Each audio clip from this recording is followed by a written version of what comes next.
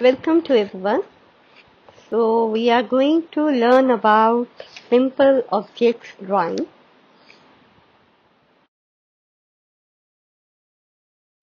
The material which require for making these simple objects are sheet and shading pencils. So here let's start with the drawing of the eraser First of all, draw two parallel lines, give some curve and slanting two parallel lines.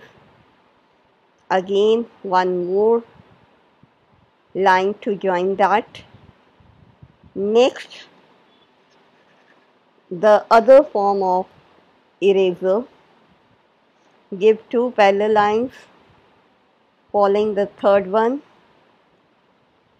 then join all these lines and eraser is ready. You can give some shading. Even you can write eraser on it so it will be more clear clarify. So Next, going to draw a pencil, simple form of pencil, two parallel lines, make a triangle on the top, give some dark portion to show the lid portion, make some more lines. And give the shading. So pencil is also about to done. Next make one curve and two parallel lines. Then give some more curves. It is going to become a pen. Two more parallel lines. Join these lines from the bottom. Make triangle. And also a small curve. Do some shading on it. Give light tone, middle tone and dark tone. So the effect of the light should be shown here. Give shading properly. Also you can write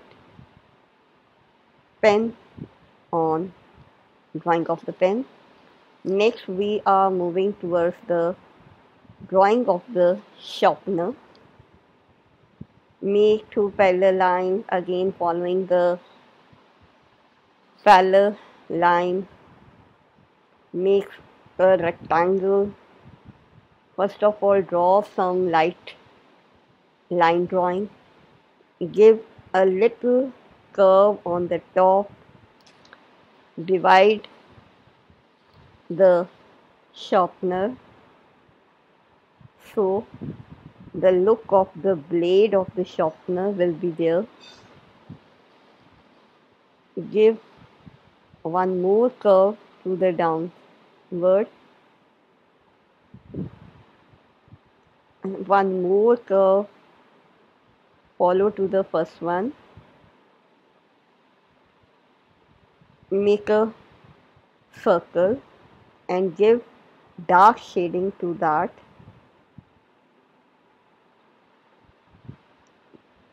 Give dark shading to the blade. And make a form of nail on it. Give some shading also. Here only I am using a pencil shading pencil for the shading of the objects. Give shadow if it's required. Give shading to all over to give the realistic form of the sharpener next scale. Draw two parallel lines. Join from top and from the bottom. Give small dots to mention about the centimeter of the scale on one side on the other side dot for inches of the scale. So follow the design of the scale give some small lines.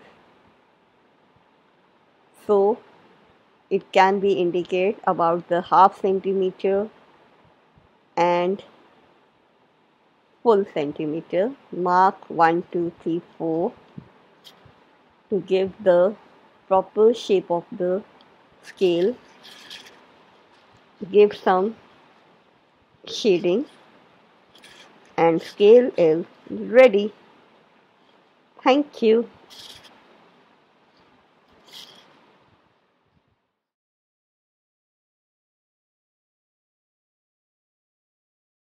So in the end, I must say, please try these beautiful simple objects